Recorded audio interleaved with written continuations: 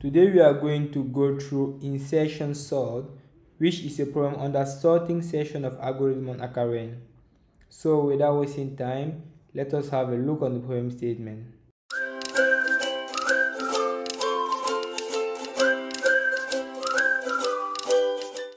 In this problem statement, we are supposed to perform the last step of the insertion sort. What is insertion? What is insertion sort? What is it about? For you to understand more of what this problem is, let me introduce to you this concept of inser insertion sort. I will put the link in the description. So this is an image from Geek for Geek.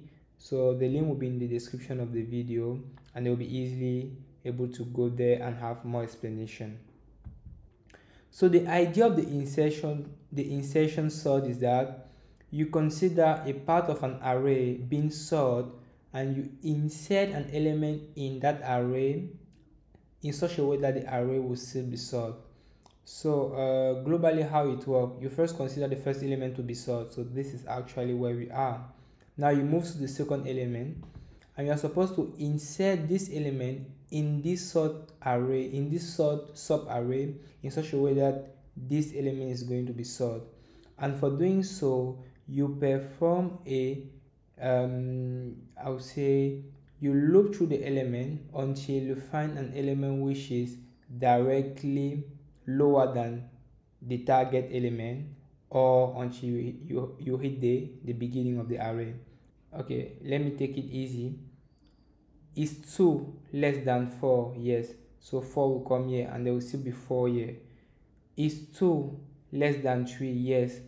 3 will come here and then we are at the beginning of the array 2 will be here. That's why you have 2 3 and 4 now let us take 10 is 10 less than uh, 4 no. So we stop there.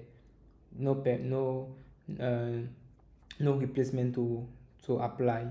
So basically this is how the insertion sort is working.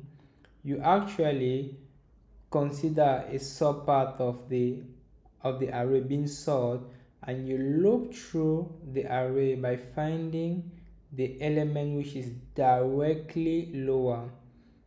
And then whenever you find an element which is greater you kind of perform a an erase of uh, adjacent element. So in this problem what we are supposed to do is that we consider an array like this. We consider an array where the subarray is actually sorted and just the last element is not sorted and you're supposed to perform the operation I was just describing here.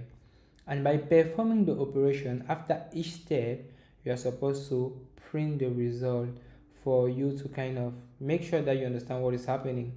So in this one, for instance, what is happening is that, okay, you take this one, this is the element you want to insert in this subarray. So you are going to take this one you compare is 3 actually less than is 3 actually less than 4 yes it is less than 4 so you erase here. So you have 5 5 here. That's why you see you have 5 5 here. We see continue. Is 3 less than 4 yes. So this 4 will erase this. That's why you have uh, 4 4 5 here. Now we are here. Is 3 less than 2 no 3 is not less than 2 so since 3 is not less than 2 we break the loop and we we replace the last element. So after this we break the loop and we replace the last element where we were with the element we were looping with.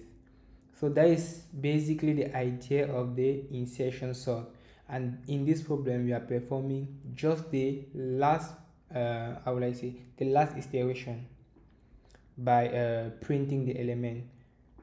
Uh, how will it look like? How are we going to implement that? So what we describe here is exactly what we are going to implement. How will it look like? So the first thing we need to have is that okay we need to take the last element which is the element we want to we want to loop with. Once we have it, we now need to have a for loop which we are going to loop from the element before the last array the size minus 1 until the first element.